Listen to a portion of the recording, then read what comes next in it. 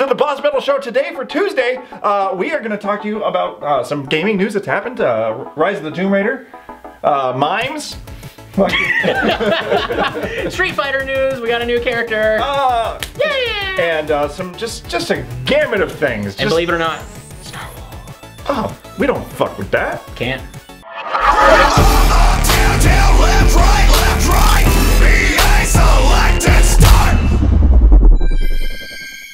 Kiddies? I'm here to talk to you about Rise of the Tomb Raider. We've got some good news. It went gold. That means the game is completely finished and is being sent off to the presses. And that's going to be for Xbox One, and believe it or not, Xbox 360. Um, but the other good news is that means we're not going to see any kind of delays to the game, and it will hit its scheduled release date of November 10th because it's completely done, so there's nothing else to fix. Assuming they didn't send us a broken game, which I hope they did not. You better not have. Now, one potential issue with the game, and there's a lot of backlash already on the internet, is there is a lot of microtransactions. Um, potentially up to 300 microtransactions that could factor into the game. so I'm still gonna pick it up. I love you, Laura Croft. I'll see you soon. What's up, my fellow primates? No. Wait. They're not primates. They're like cavemen. What do you? What would? What's a word for that? If not primate. What's up, my fellow primitives? Adam Ronin here, and I want to tell you about Far Cry Primal, which was just announced this last week here. And you know what? I haven't played particularly a lot of the Far Cries, but Far Cry Primal is looking really cool. This is the first game I think that's really actually ever been made uh, that's taken place in 10,000 BC. Uh, we can't really count Turok in that because, you know, Turok had guns and the brain board. Remember the brain board? That would gun was sick.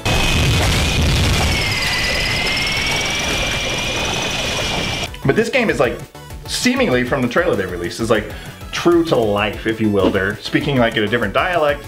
They've got spears and they're hunting woolly mammoths. It looks really cool, but the thing about it that's making me nervous is it comes out on February 23rd, which is a mere four months away, and we're just now getting a rele- uh, announcement about it. Um, and Far Cry 4 has uh, at this point of filming wasn't hasn't even been out a year. Uh, it came out in November of 2014, and here we are of October 2015. So I mean, I feel like that game. Uh, if you guys remember Blood Dragon, that was kind of like a spin-off of Far Cry 3. I feel like this is kind of going to be in the same vein, where it's a spin-off of Far Cry 4, using the same engine, the same graphics, that kind of thing. Um, however, it's probably the first one I'm gonna pick up. It's gonna be really cool. Um, I just kind of hope that maybe like there's a dinosaur in there somewhere. You know, just like some raptors.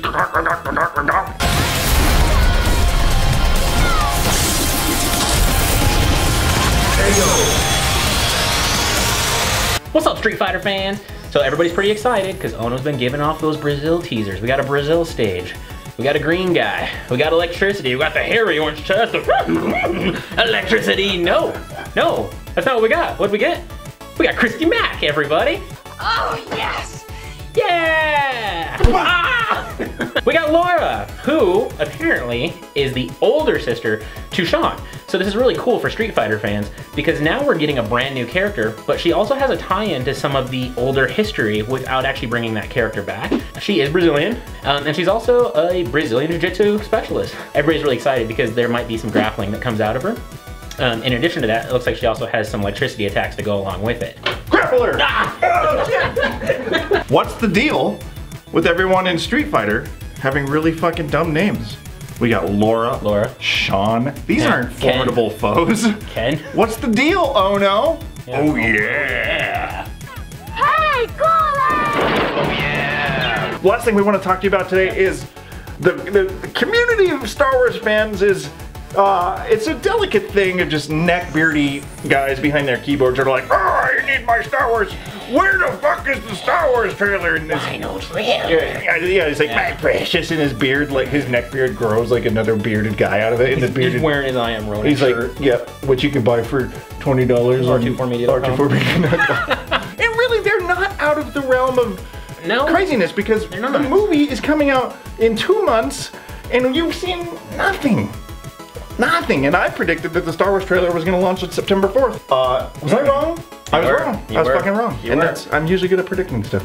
I'm like the nerdy Nostradamus. I'm like But the right, Nerdodamus. right about the time you should be seeing this is the anticipated Yeah. trailer release. So, um, now these are not confirmed release dates, but it's unanimously kind of uh, understood that at this moment they're going to announce the trailer on the 15th, saying like the trailer's going to be up on this date, and then that Yeah.